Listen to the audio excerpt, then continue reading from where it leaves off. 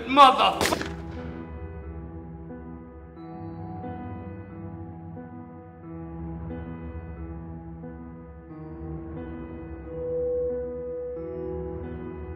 You have one minute to make your decision, Senator. You know who I am. I'm a United States Senator. There's no possible way that you can blackmail me.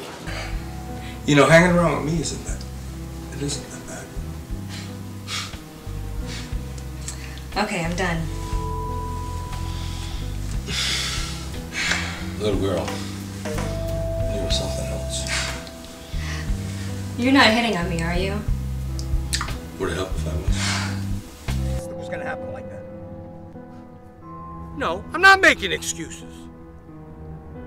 Yeah, fine. Whatever.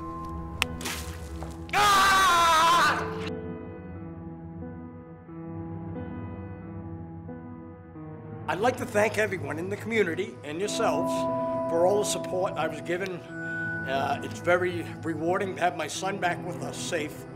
And uh, it gave me time to think about the violence that's going on in our city, the state. It is a fact. You can bet your last bottom dollar. You will lose, Don Del Seguin. You don't have fight nights like that in the can. Comfortable drink in one hand, cancer stick in the other. Nice, comfortable place to sit. You can't fucking beat that. I remember back in 91. We had a full blown fucking riot inside there. I'll never forget it. It was the Mercer Morrison fight. It was 100 degrees in the friggin' place, and they had one lousy fucking fan to try to cool off 500 guys. We couldn't breathe. It was stifling, and it was a cheap fight on top of it. Mercer whacks out Morrison early in the fight, and before Morrison hits the, uh, the canvas, he whacks him in the back of the head twice.